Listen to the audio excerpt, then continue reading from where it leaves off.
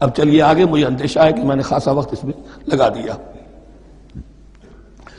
तलाक मर्रातान।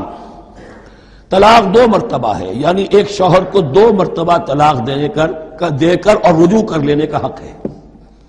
एक दफ़ा तलाक दी और इद्दत के अंदर अंदर रुजू कर लिया, ठीक है। फिर तलाक दी और इद्दत के अंदर अंदर रुजू कर लिया, ठीक है। तीसरी मरतबा तलाक दी, अब रुजू नहीं कर सकता। तलाक मर्रतान, दो मरतबा हो सकता है। फ़ाइमसाकुम बे मारूफिन और तस्रीम बेहसान। अब उसके बाद फैसला करो। या तो रोको उसको अपने घर में तो वो भी नेकी के साथ, भलाई के साथ, तंग करने के लिए नहीं, परेशान करने के लिए नहीं।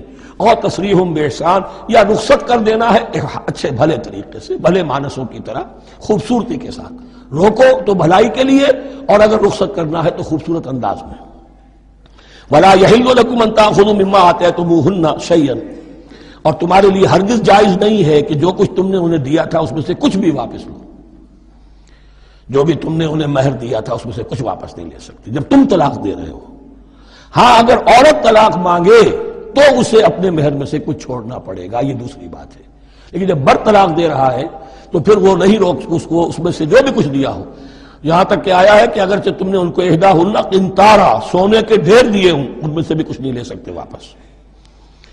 वला यकुमन ताखुजु मिम्मा आते तुम हन्ना शैन यखाफा युकीमा हदूद अलबत् अगर वो दोनों ये समझें कि हम हदूदुल्लाह को कायम नहीं रख सकेंगे मुराद क्या है कि फैमिली लाइफ के ज़िमन में जो अल्लाह ने अहकाम दिए हैं जो आदाब हैं जो उनके मकासद हैं वो हमारे माबेन इतनी मुआफ़त मिजाजी नहीं है कि हम साथ चल सकें एक औरत अगर ये महसूस करती है फ़ैन खिफ तुम अल्लाह यकीमा हदूद अल्लाह है फला जुनाह अलहिमा फ़ी मफत भी फिर अगर उसका ये ख्याल है कि ये नहीं रख सकेंगे तो फिर कोई हर्ज नहीं है उन दोनों पर कि जो कुछ दे दिलाकर औरत फिदिये में अपने आप को छुड़ा ले। यानी कह के ठीक है, तुमने मुझे दस लाख मेहर दिया था, मैं पाँच लाख तुम्हें वापस करती हूँ। या तुमने दस लाख का मेरा मेहर रखा था, मैं खुला मांग रही हूँ, मैं सिर्फ़ पाँच लाख का तुमसे तकाजा करती हूँ। उसे अपने मेहर में से कुछ छोड़ना होगा, ये फिदिया है। तिल का हदूदुल्लाह फला तादूहा ये अल्लाह के हदूद है, इनसे तजावुज मत करो।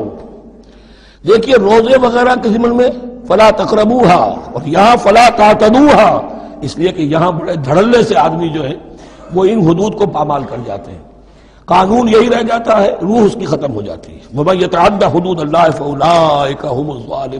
और जो अल्लाह के हदूद से तजावज़ करते हैं, वही जालिम। वन कहा अब अगर तीसरी मरतबा तलाक दे दी।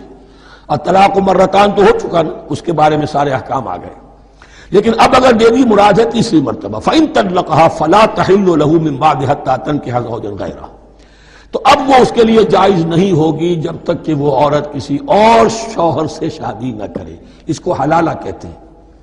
लेकिन ये हलाला करवाना या करना और किसी के साथ ये मुआहदा करना, तुम शादी कर लो, फिर तलाक दे देना, इस पर लानत फरमाई है। हजूर ने लानत फरमाई है और हमारे यहाँ इल्म में आती है, ये बात सुनने में आती है कि बहुत से उलमा ने इसको धंधा बना रखा है। हलाला मौलवी मशहूर है मुख्तलिफ़ शहरों के अंदर।